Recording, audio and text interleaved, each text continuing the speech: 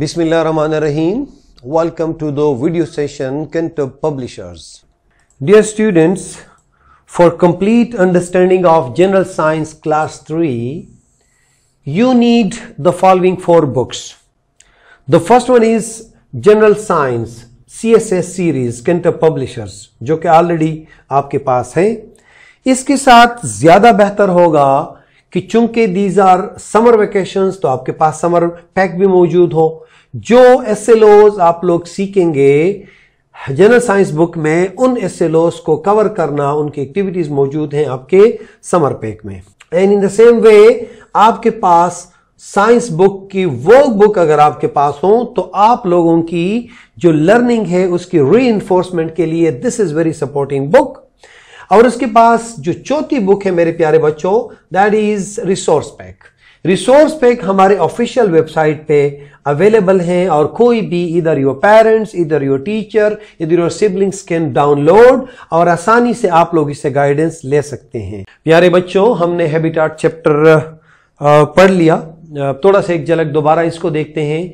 This was the start of the chapter और उसके बाद हमने इसके एसिलोज पढ़ लिए। एसिलोज के बाद, थोड़ा सा हम इसको एक झलक देखेंगे, बर्ड आई व्यू के साथ देखेंगे।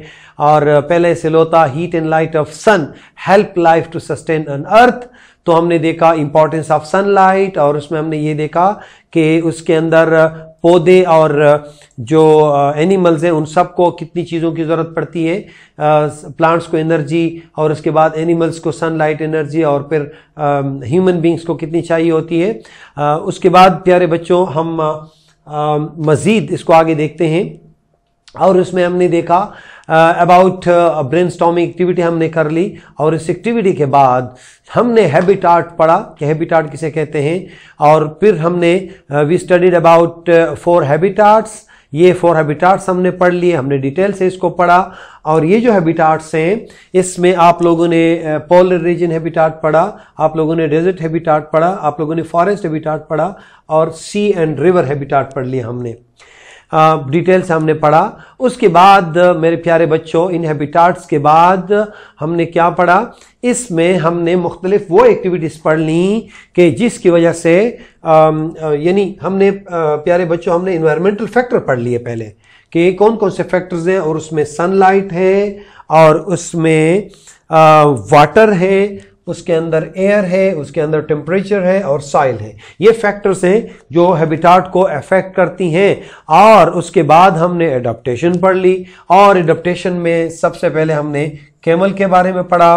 कैमल की बेहतरीन एडोप्टेशन थी, उसके बाद हमने फ़िश के बारे में एडोप्टेशन पढ़ ली और फ़िश के बाद हमने पोलर बियर के बारे में एडोप्टेशन पढ़ ली। These are very interesting topics my dear students और उसके बाद कैक्टस के बारे में पढ़ा।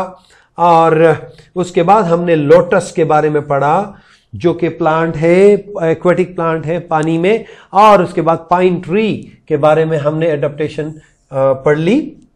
उसके बाद some activities which affect habitat जो हैबिटाट को नुकसान देती है और इसमें सबसे बढ़ के वाटर पोल्यूशन और दूसरे नंबर पे क्या था डिफॉरेस्टेशन सो उसके बाद मेरे प्यारे बच्चों, हमने इफ़ेक्ट ऑफ़ पोल्यूटेड वाटर पढ़ा और इफ़ेक्ट ऑफ़ डिफॉरेस्टेशन भी पढ़ा, उनके असरात क्या हैं इन्वायरमेंट पे, और हमने उसके अलावा कुछ और एक्टिविटीज़ के बारे में बात की।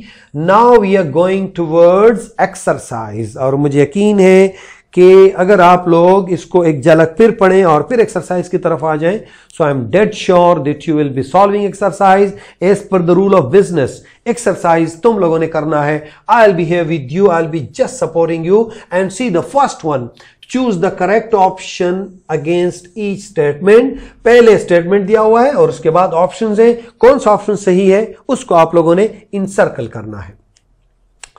Needle shape of pine leaves help to यानी नीडल लाइक शेप क्या?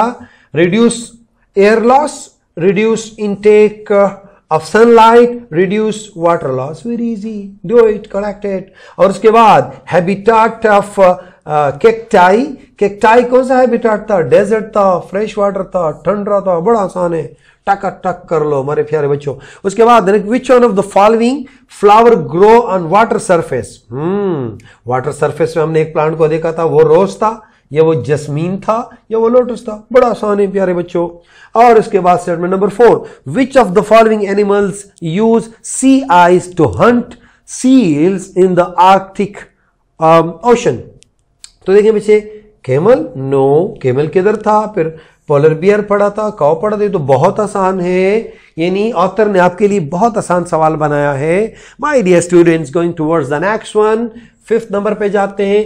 Leading cause of deforestation is agriculture mining या इंडस्ट्रीज़ आप लोगों ने डिफॉरेस्टेशन में पढ़ा था, इनमें से एक ऑप्शन सही है, वो तुम लोग कर लो। उसके बाद adaptation of camel hump is against what यानी किस वजह से केमल हम क्या, किस चीज़ में फ़ायदा देता है, उसका फ़ायदा क्या होता है, जो करेक्ट है, वो कर लो, बड़ा आसान है। और उसके बाद land habitat destroy due to pollution rain या प्लांटेशन ये भी बहुत आसान है जनरल सवाल है। एवरीबडी नोज़ इट और उसके बाद question number eight identify the human activities affecting the aquatic habitat यानी पानी में, पानी के हैबिटाट को कौन सी चीज़ खराब करती है? डैम्स बनने से। पानी वेस्ट फेंकने से या वाटर फिल्ट्रेशन से तो ये तो और आसान है।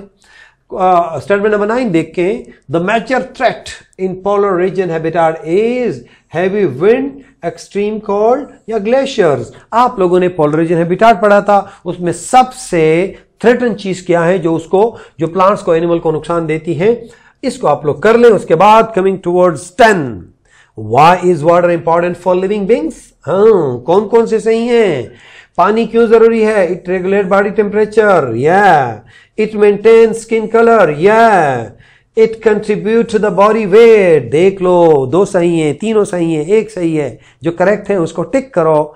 Going towards fill in the blanks my dear students this is also very easy क्या लिखा है इसके अंदर? The is the biggest brightest and hottest object in solar system of course sun हाँ बहुत आसान है। माई डियर स्टूडेंट्स बाकी आप लोगों ने करने हैं। The place where animals are plant live is called as हम बार बार पढ़ते रहे उसके बाद, तीसरा क्या है? There is very little rain in कौन से हैबिटाट में बारिश नहीं होती? पानी कम होता है।